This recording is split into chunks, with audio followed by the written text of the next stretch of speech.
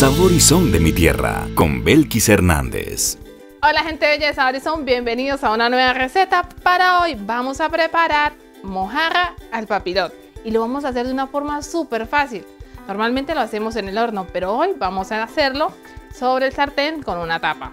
Fácil, fácil, fácil para prepararlo en casa. Para esta preparación vamos a necesitar, muy importante, mojarra. Yo la escogí de un tamaño pequeño. A utilizar pasta de ajo, que ya saben que en mi canal tengo un video donde les enseño cómo hacer súper fácil la pasta de ajo. Comino, orégano y yo hice esta salsita. La llevo a la licuadora, le coloqué un poquito de cilantro, un poquito de pimentón, cebolla junca, cebolla cabezona, color y sal para bañar nuestra mojarra. Y como acompañamiento vamos a hacer unos chochequitos que se acuerdan en el video de la cachama, la señora no los enseñó a preparar y hoy los vamos a hacer para acompañar esta delicia. Un poquito de mantequilla, papel aluminio y no puede faltar la hoja de plátano con la que vamos a envolver nuestra mojarra. Acuérdense que esta es la hojita con la que envolvemos las hallacas. Y les voy a enseñar un truco súper sencillo y fácil para que no vaya a quedar amarga. Vamos a la preparación.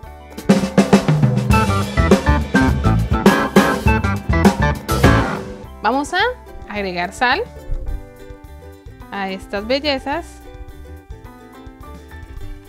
Le van a hacer unos cortes. Acuérdese siempre andar a limpiar bien y echar una lavadita cuando llegue a su casa. Agregamos, agregarles orégano.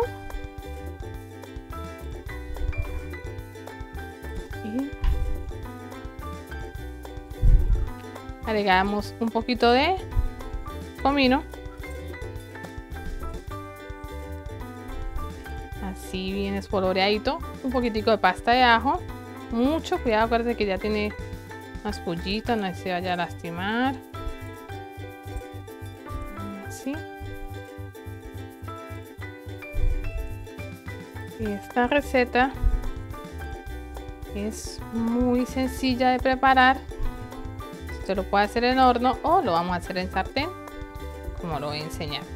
Este adobo es muy caserito, como le dije, cebolla cabezona, un poquito de cebolla junca, un poquito de pimentón, un poquito de España, cimarrón y bajita en sal.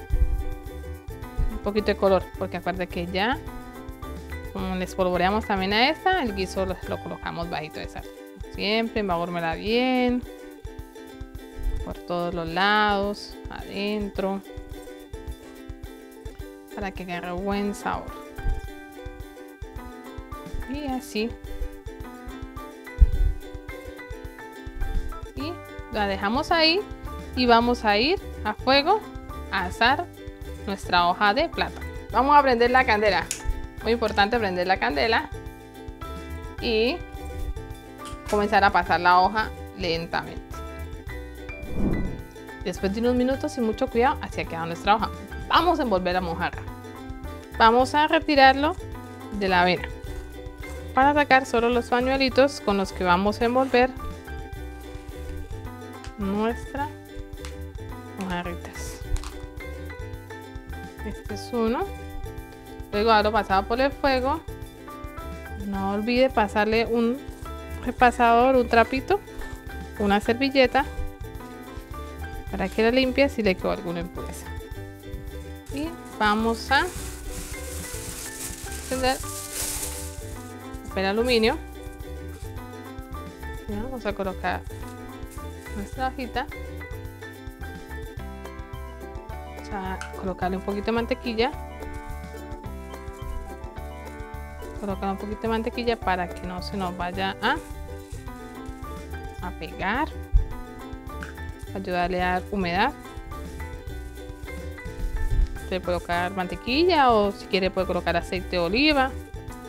A mí me gusta colocarle mantequilla. Y colocamos nuestra mojarrita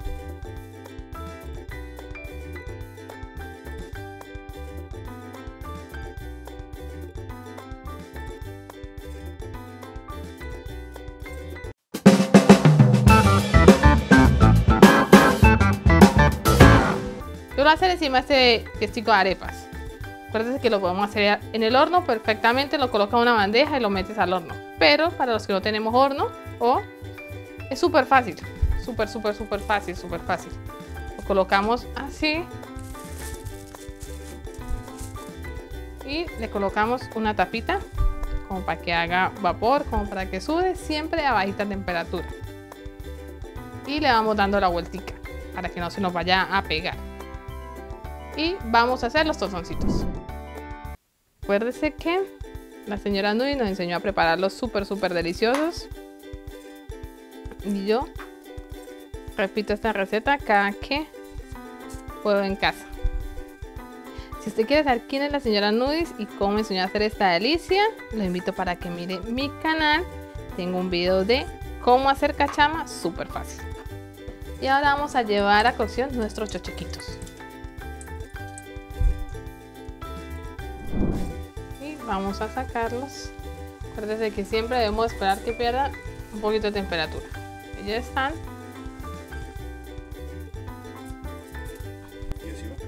Y así van nuestras mojarritas. Recuerden que les dije que debíamos que estar volteándolas con mucho cuidado, por favor, no se vayan a quemar. Acuérdense que esto agarra temperatura.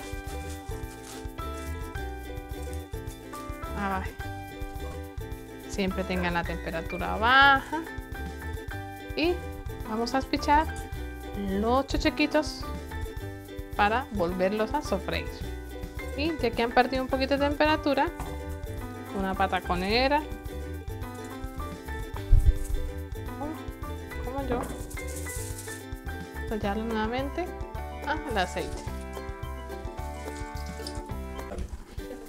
Después de 20 minutos a fuego lento, vamos a revisar.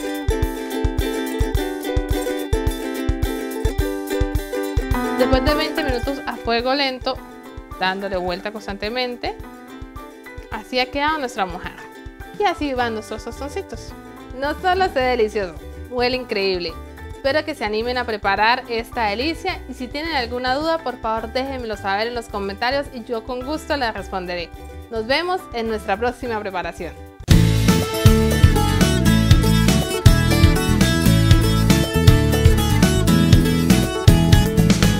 Sabor y son de mi tierra con Belkis Hernández.